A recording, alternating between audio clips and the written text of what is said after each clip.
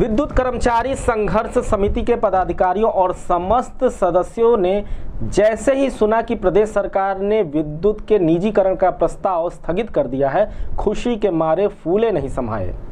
और शुक्रवार को विद्युत उपकेंद्र मोहद्दीपुर प्रदर्शन स्थल पर समिति के सभी सदस्यों और पदाधिकारियों ने मुख्यमंत्री योगी आदित्यनाथ के इस प्रस्ताव का कोटि कोटि धन्यवाद दिया और उनके तस्वीर को मिठाई खिलाकर उन्हें बधाई दी। संघर्ष समिति के सभी सदस्य प्रदर्शन स्थल पर इकट्ठा हुए और समिति की महिला सदस्य ने सभी सदस्यों को टीका लगाकर और मिठाई खिलाकर एक दूसरे को धन्यवाद दिया।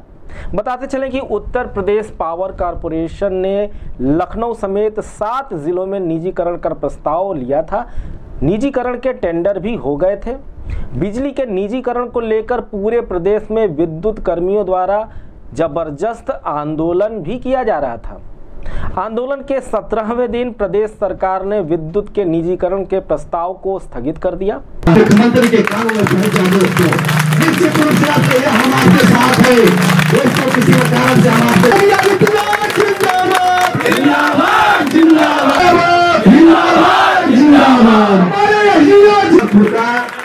ये मत जानिएगा कि लखनऊ के संघर्ष से हमें जीत हुई है। ये गोरखपुर ने नजीर दिया है। कि संघर्ष चाहे छोटे से छोटा करे या बड़ा करे अगर संघर्ष मन से किया जाए तो जीत पक्की होगी। गोरखपुर के कर्मचारी ने सिद्ध कर दिया। भाइयों हमारे मुख्यमंत्री जी का इस सभा के स्थल के माध्यम से उनको तोड़ पर धन्यवाद। तीन दिन पहले ये सच्चाई सबको जान लेनी चाहिए बिना उसके इसका सर्वाइवल है नहीं। इसलिए मैं सभी से अपील करता हूँ हम लोग जो कर रहे हैं, वो अच्छा कर रहे हैं मगर इससे भी अच्छा करने की ज़रूरत है। और उसके लिए मैं चाहूँगा सबसे कि ज़्यादा ज़्यादा जब आज किसको जो रुका जो एग्ज़ाम्पल है तो जब बढ़ गया, तब रुक गया। और वही एग्ज़ाम्पल यहाँ भी क्रिएट होना चाहिए कि गोरखपुर का इतना जो साढ़े पाँच, साढ़े छह रुपया जा रहा है, सरकारी अगर मिला दिया लिया जाए तो साढ़े छह रुपए का टूल रेट है? मैं चाहता हूँ चाहे ग्रामीण सेक्टर में भी गोरखपुर का बहुत अच्छा है। आज आप आजमगढ़ चले जाइए, पैंतालीस पैसा, पचास पैसा है, गोरखपुर डेढ़ रुपए के चल रहा है, फिर भी मैं चाहता हूँ, गवर्नमेंट चाहती है दो सवा दो रुपए का है, मैं आप सबसे उम्मीद करता हूँ कि हम लोग सब लोग लगे और इसको अपने जो हमारे सेंट्रल नेता है, सरकार की अपेक्षा है, सबकी अपेक्षाओं की पूर्ति करें। धन्यवाद।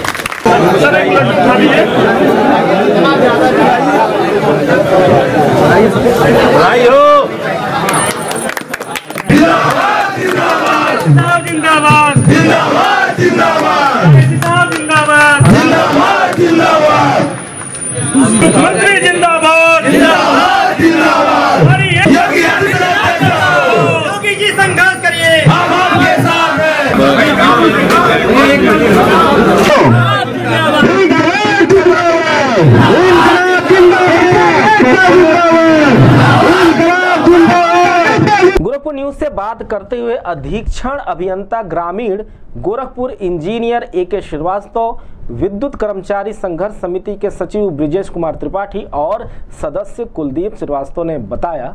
खुशी हमें बहुत अपार है कि हमारे माननीय मुख्यमंत्री जो हमारे शहर से है, गोरखपुर से है, हम लोग की आवाज़ को प्रदेश सरकार की तक ले गए और एक लोकहित में, जनहित में जो एक फैसला होना चाहिए था, जो उनका शुरू से संघर्ष रहा है, जनता के बीच में जनता की बात रखते आए हैं, किसी के भी खिलाफ जाके उन्होंने एक बार फिर साबित किया, हमारे मुख्यमंत्री जी ने कि वो जनता के साथ है, कोई भी गलत फैसला होगा तो उसको बदलने में तनिक भी हिचक नहीं करेंगे। इसके लिए इस मंच के माध्यम से हम सभी कर्मचारी घर उनका बहुत बहुत आभार और धन्यवाद ज्ञापित करते हैं। आज मुख्यमंत्री जी को मिठाई खिलाया गया। हाँ मुख्यमंत्री जी को भी हमने क्योंकि हमारे बीच यहाँ पे नहीं है। हम तो अगर आज हमारे बीच होते तो हमको ले आके स्वयं खिलाते, लेकिन उनके फ़ोटो पे हमने मिठाई खिला के उन्हें अपनी खुशी में उनको अपने साथ शामिल करने की कोशिश की है। देखिए, सत्रह दिन में बहुत खुशी की बात है। हमारे कर्मचारी बहुत उत्साह है कि सत्रह दिन जो उन्होंने आंदोलन चलाया, बिना उपभोक्ताओं की कोई व्यवस्था तोड़े हुए, आज बहुत खुशी हो रही है कि हमारा आंदोलन सफल हुआ। इससे बड़ा खुशी कुछ हो सकती है?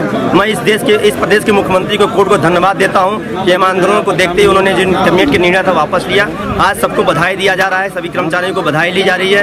सभी कर्मचारी उत्साहपूर्वक जो सत्रह दिन इस आंदोलन को किए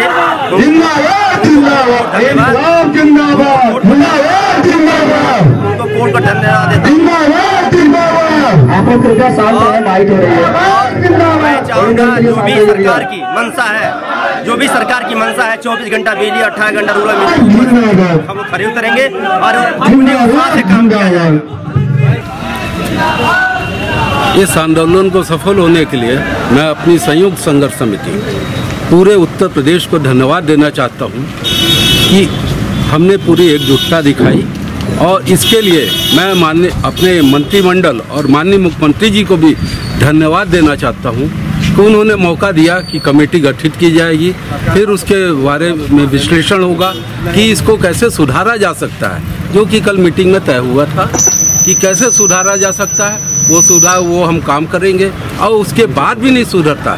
तो सरकार इसको जहाँ चाहे, वहाँ दे दे।